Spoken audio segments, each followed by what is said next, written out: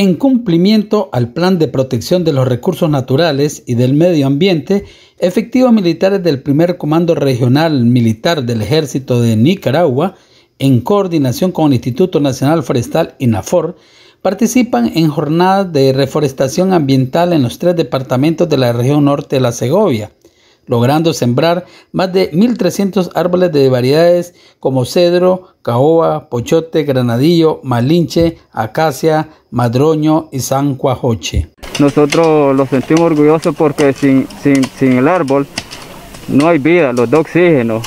A base de todo, los, viene a ayudar a que protejamos nuestra fuente hídrica de agua. Nosotros como soldados de acá del campamento militar, eh, nosotros en ayuda con técnicos del Marena y NAFOR.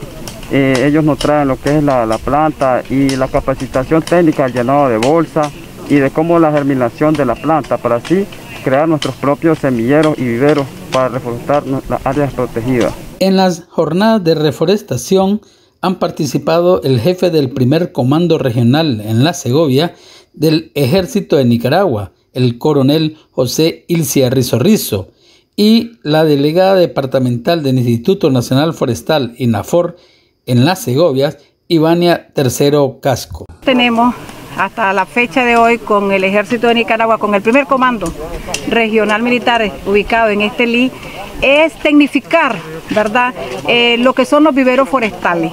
Nosotros ya tuvimos la primera experiencia de producción de planta, ahora queremos entrar más allá a la tecnificación, por lo que con el Banco de Semillas tenemos el proyecto de hacer invernaderos y producir plantas de mejor calidad para garantizar la Cruzada Nacional de Reforestación tanto en el departamento de Estelí como en cualquier municipio de Nicaragua. El norte de las Segovias, Somoto, cabecera del departamento de Madrid, les informó William Aragón Rodríguez.